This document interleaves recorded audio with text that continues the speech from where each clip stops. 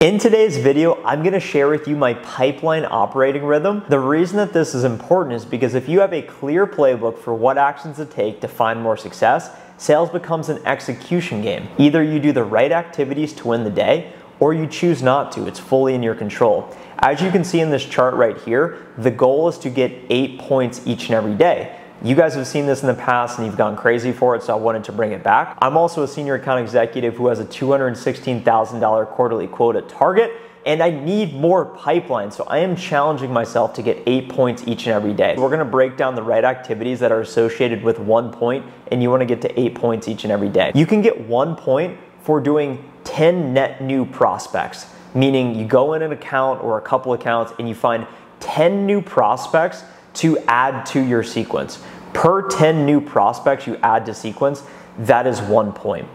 The next way to earn points is by sending custom emails or in-mails. Per five net new emails you send, you earn one point. So if you go find 10 new people and you send 10 net new custom emails, then you'd get two points for the 10 emails, one point per five. So you can decide how many emails you wanna be sending each and every day. And I personally like to send emails every day because it brings fresh people in my prospecting sequence and it allows me to then make more calls every day because I really enjoy cold calling. Speaking of cold calling, that's another way you can earn points is by one point for every live conversation. So you actually get somebody on the phone, whether you set it or you don't set it, as long as you speak with someone, that's one point. If it's really brief and they hang up in the first 10 seconds or they just push me off, I don't always count it because I don't really consider that a real call. But it's important to be measuring the right metrics because early on in my sales career, I was a SDR and I said, hey, I'm not better than anyone else. I don't know what to do. I don't have the experience. I'm just going to make more calls than everyone else. So I would be proud to say, hey, I made 100 calls today and I did that for nine months. It was helpful because it allowed me to become more efficient. But measuring yourself just on call volume it's a vanity metric. It's not actually productivity. It's just making calls. Because if you make 100 calls and you have five live conversations, and I make 20 calls and I have three live conversations, I'm way more efficient. And what I did is actually more meaningful, and I could do it in probably a fourth of the time. So per live conversation, you get one point. The next way to earn points is actually by setting a meeting as well. So if you can set a net new meeting via cold call, email, LinkedIn InMail, or carrier and whatever you're doing per new meeting you set, that is one point. Another way to earn points is actually by qualifying an opportunity. That's something that in my organization is, is really important. The goal is to set up a meeting with the right buyer persona in the right account to qualify some sort of need. Do they have a pain that my solution can solve? Are they somebody that would be involved in the sales process? And do, do we have a scheduled next event? If we can meet those criteria, then it's a qualified opportunity and that is legitimate pipeline. So you want to get as many of those as possible so you get one point per qualified opportunity. And the final way to earn points is by doing self development. And self development means something different for every person. So you ultimately will be the judge if, if you actually learn something. If you just act like you're reading and give yourself a point for just saying you did something, it's virtue signaling and it shouldn't count. So what I did was I added self-development slash LinkedIn posts because I'm active on LinkedIn. And if we're not already connected, go connect with me there now because I consider that furthering my personal brand, which in a way is self-development. So those are the ways to earn points and the goal is to get eight points a day. So you could do a combination of a few of them. And I'm gonna put up a picture of my productivity this week. Um, at the time of this recording, I actually am not gonna get eight points today unless I decide to find 20 new people to add to my sequence, which I very well might. But the challenge is I'm actually traveling tomorrow. I'm going to, to President's Club, um, and I'm excited to bring you guys with me. So make sure to subscribe to this channel now if you want to follow along in the journey. But I challenge you, look at these different ways to get points. Maybe you want to have two, you have two live conversations, you set two meetings, you do one hour of self-development, whatever it may be, and you send 10 emails. So that would be that would be seven points. You'd be one point away from hitting eight. So figure out your path to eight points and stay disciplined to say, I'm gonna do whatever it takes to get these points today. As an account executive, I have so much come up on a day to day basis. I have to run meetings,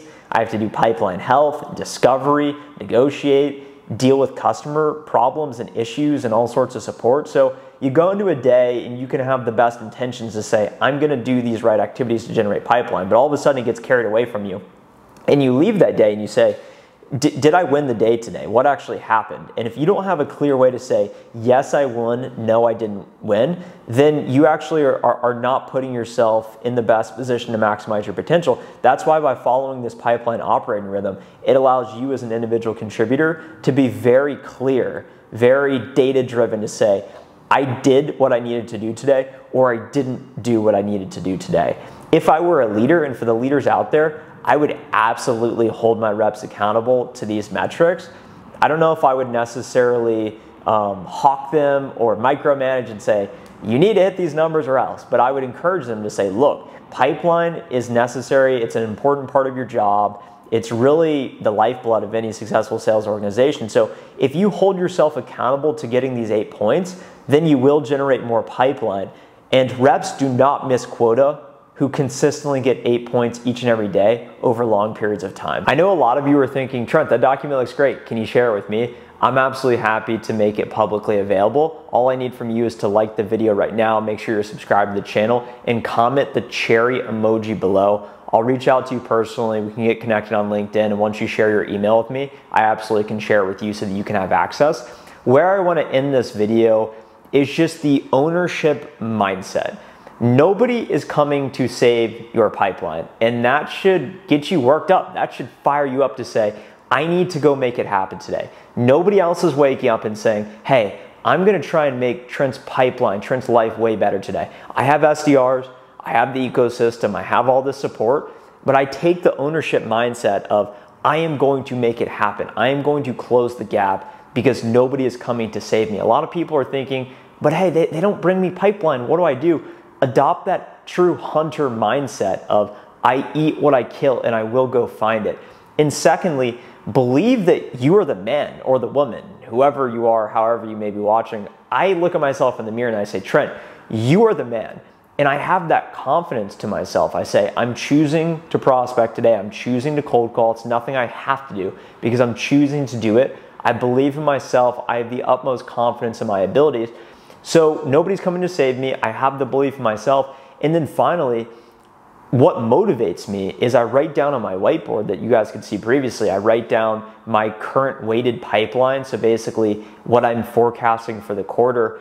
And my motivation is now the gap between where I'm at today and where I want to be. And it pisses me off to look at it and say, I'm $200,000 in pipeline short, what I need to hit my targets. So it's an infinite pursuit. There should never be a point where you say, oh, well, I'm good. I, I hit my number. It's, it's all good. If they set a number here in the organization, so at my company, 30% of reps hit quota in Q1. That's absolutely inexcusable. When I look at my quota number, I look at it and I say, I set a target way up here. Despite my target being 216,000, my goal is 300,000. I set way bigger targets, so I'm always pissed off because I'm never where I need to be. So I feel like it's it's that constant, never satisfied feeling.